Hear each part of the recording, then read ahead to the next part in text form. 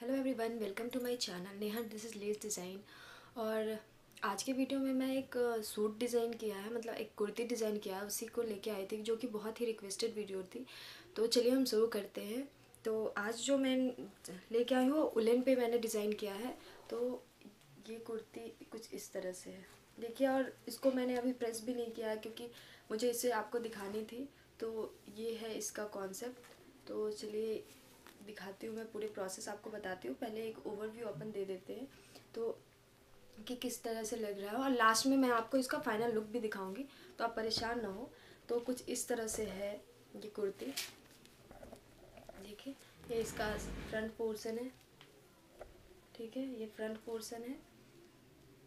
तो चलिए हम शुरू करते हैं, और ये इसका नीचे का है। तो मैंने इसे तीन लेस से कॉम्बिनेशन किया है। तो आप ये देखिए, इसमें लेस आपको समझ आ रही होगी। ये ब्लैक एक पतले में लेस है, फिर ये गोल्डन और जरी का काम है इसमें।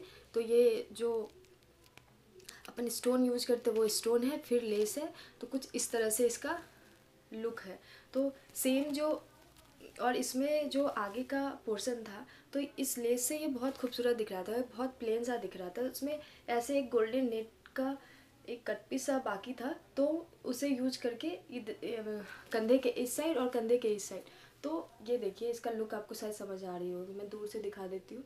तो ये हो गई। और बीच में मैंने जब डिवीज़न पे जो रखा है, उसको हाइड करने के लिए, ये ब्लैक चाइना पट्टी है।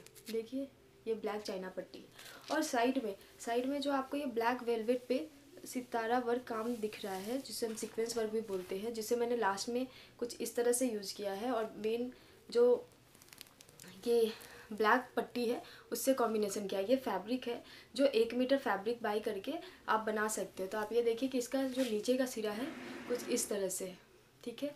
और ये बहुत खूबसूरत लग रहा है। उलन पे है, क्योंकि अभी ठंड के मौसम आ रहा है तो मैंने सोचा चलो उलन पे दिखाती हूँ। तो बस कुछ नहीं है, बस इसको इस पर सिल लेना है। तो आप इस तरह से भी कुछ डिज़ाइन कर सकते हो। तो देखिए, ये हाफ़ मीटर कपड़े का कपड़े को मैंने इसमें यूज़ कर लिया है। तो मैंने क्या किया है, इसी, ये जो फैब्रिक है, चलो मैंने आपको यहाँ से दिखाना है।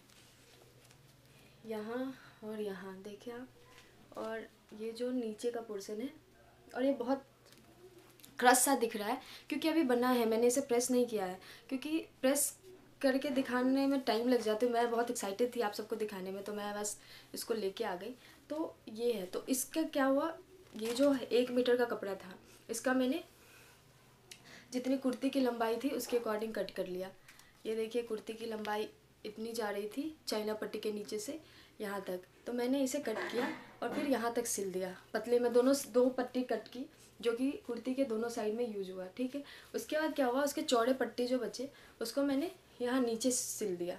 और जो लेस है ये अप्रॉक्स थ्री मीटर यूज़ हुए हैं ले, लेसेस जो ये ब्लैक वाले लेसेस आप ये देखिए जो ब्लैक वाले लेसेस है ना वो अप्रॉक्स थ्री मीटर यूज़ हुए हैं।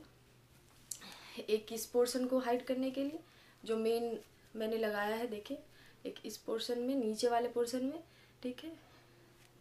और और ये कॉलर में ये देखिए कॉलर में डबल लाइन लगाया है और फिर नेक में नेक में इतना लगाया है। और नेक में मैंने स्टोन इसलिए यूज़ किया क्योंकि स्टोन से है ना लुक बहुत अच्छी आ जाती है। तो ये डिपेंड आप पे करता है कि आप कितने लंबा आप बनाना चाहते हैं। तो मैंने जो नेक का डिज़ाइन रखा है, वो इतना रखा है, देखिए। यहाँ तक रखा है। तो ये है और ये इसकी फाइनल लुक है, देखिए आप।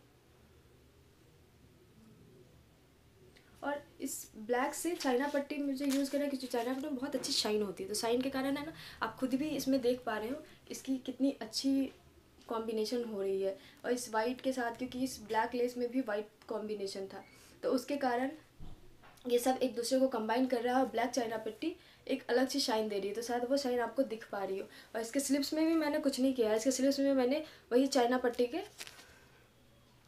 पतले पतले स्ट्रिप यूज़ किए हैं। तो देखिए। ये है और बैक से ये बिल्कुल प्लेन है बैक में कुछ भी नहीं किया है और बस कॉलर में यूज़ किया है तो ये इसकी फाइनल लुक है।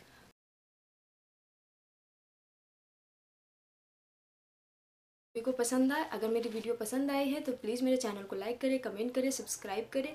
और आपको कुछ भी क्वेरी हो तो हाँ व्हाट्सएप पे पूछे। मुझे पता है कि मैं बहुत लेट रिस्पॉन्ड कर रही हूँ बट हाँ थोड़ी बिज़ी हूँ। जब टाइम मिल रहा है तो मैं पक्के से कर रही हूँ। तो प्लीज़ इसके लिए मुझे माफ़ कर दे। और चलिए, अगली वीडियो में फिर मिलेंगे। तब के लिए बाय